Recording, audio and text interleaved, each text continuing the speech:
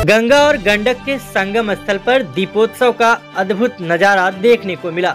सोनपुर के बाबा हरिहरनाथ क्षेत्र के घाटों पर एक लाख इक्यावन हज़ार दिए एक साथ जलाए गए, जिसमें पैंतीस हज़ार दिए नदी में जलाए गए, जिसके लिए चार नाव को खास तौर पर तैयार किया गया था।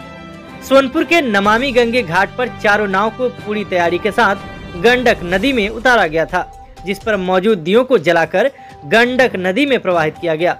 इस तरह पैंतीस हज़ार दिए गंडक नदी में छोड़े गए। इसके अलावा एक लाख बीस हज़ार के आसपास दियों को पुल घाट नमामि गंगे घाट काली घाट कोनहरा घाट सहित आधा दर्जन घाटों पर प्रज्वलित किया गया, जिसकी तैयारी सुबह से ही स्थानीय लोग कर रहे थे।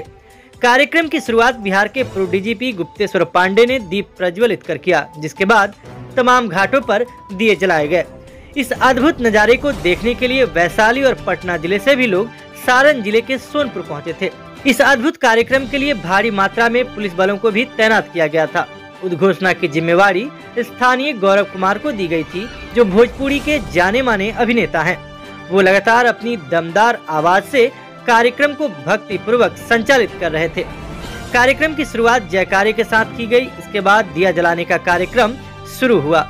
इस दौरान बिहार के पूर्व डीजीपी गुप्तेश्वर पांडे ने कहा कि गंगा और गंडक के संगम स्थल पर सोनपुर के सभी संप्रदाय के लोगों ने मिलकर दीपोत्सव का जो आयोजन किया है उसका मुझे पूरा विश्वास है कि पूरे देश में यह एक सकारात्मक संदेश जाएगा। एक लाख डेढ़ लाख इक्यावन हज़ार दिया यहाँ पे जलाया गया है। जलाया गया? ना हाँ। कितना आप लोग खुश हुए? बहुत ज़्यादा खुश हुए। हैं अच्छा कौन कौन लोग जलाया दिया? यहाँ पे जितने लोग आए हैं सब कोई मतलब मिलजुल कर। दिया जलाए हैं। अच्छा।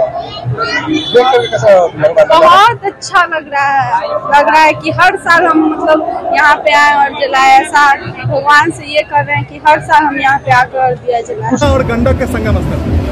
देखिए, गंगा और गंडक का ये संगम स्थल है और इसका पौराणिक महत्व है। गजग्राह की लड़ाई जो प्रारंभ हुई थी, उसका समापन यही हुआ था। यही गज का भी उद्धार हुआ, यही ग्राह का भी उद्धार हुआ।